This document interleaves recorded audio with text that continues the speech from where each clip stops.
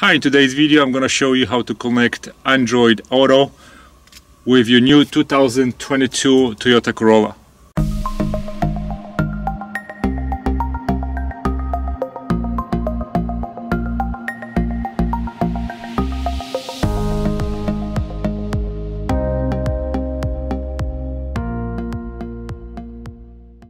Hello again, so I just got myself 2022 Toyota Corolla and I was trying to connect Android Auto yesterday uh, but I had a bunch of problems and I couldn't find a really good video on that uh, issue and uh, some of the videos were showing that once you connect uh, your phone with the cable that is included with this Toyota car into the system and you have Android Auto already installed everything should work. Uh, well, in my situation, it does not work. So, so I'm gonna go step by step. If there's gonna be some little hiccups, I'll show you how it's done.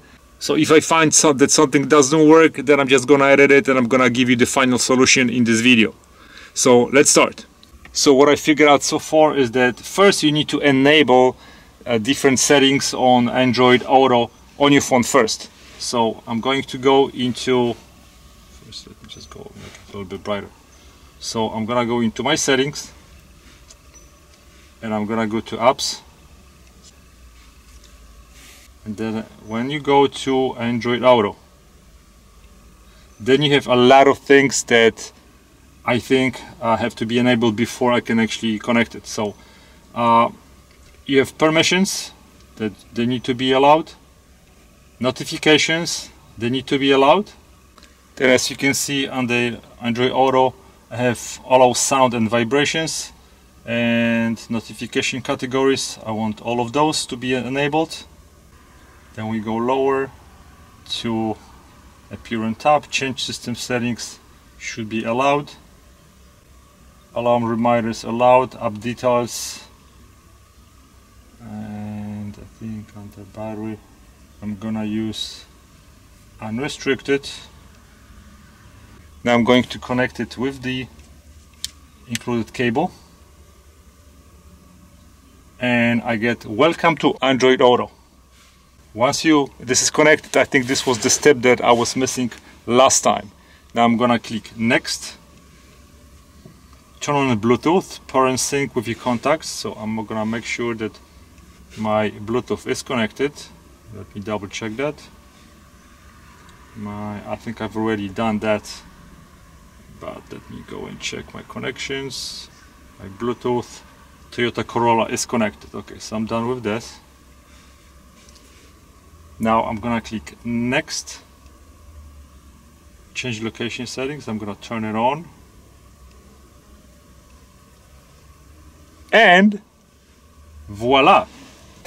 And right now I should be able to do everything on the screen from my phone so I'm gonna click OK. And it needs to turn notification access from your phone. So go to phone.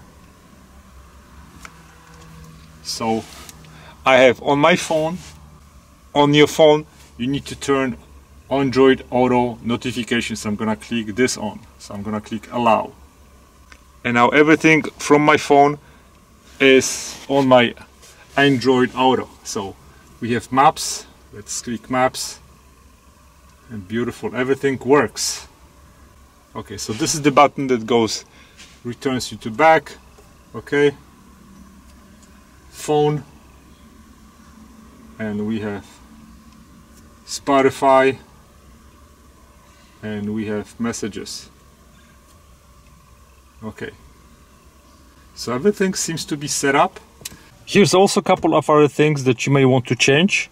So once you are in your settings, you click apps, then you go to Android Auto.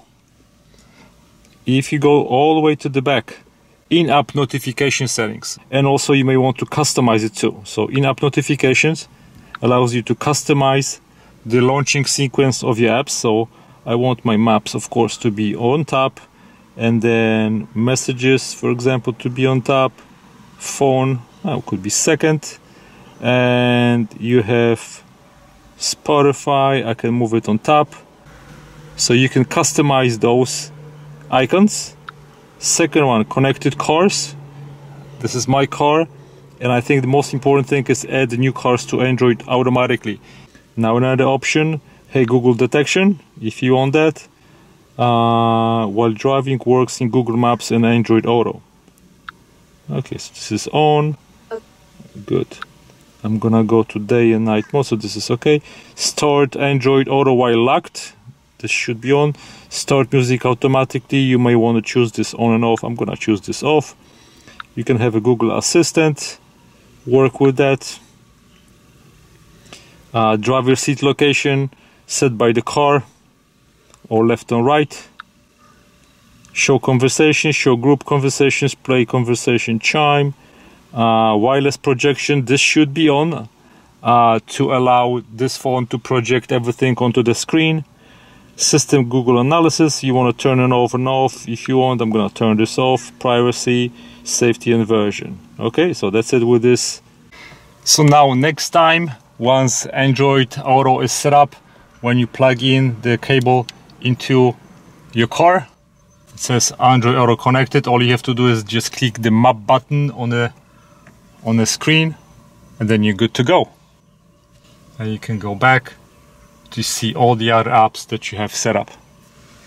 Okay guys, so this is how you go through the setup process to set up your Android Auto in 2022 Toyota Corolla. If you like my video, give me thumbs up.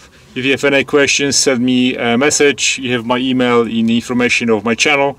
I'll be more than happy to answer your questions. Subscribe and then I'm gonna post more videos about this 2022 Toyota Corolla features in next couple of days while I'm gonna be test driving the car and when I see something interesting I'm gonna give you an update. Thanks for watching guys. Goodbye.